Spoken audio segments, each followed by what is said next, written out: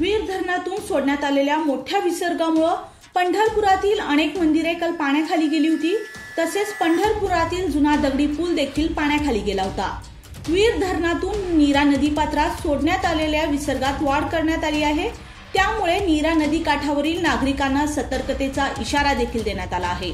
सविस्तर बातमी पाहण्याआधी आपण जर आमच्या हॅलो बळी राजा या चॅनलला सबस्क्राईब केला नसाल तर नक्की सबस्क्राईब करा जेणेकरून आमची अपडेट तुम्हाला लवकर मिळतील.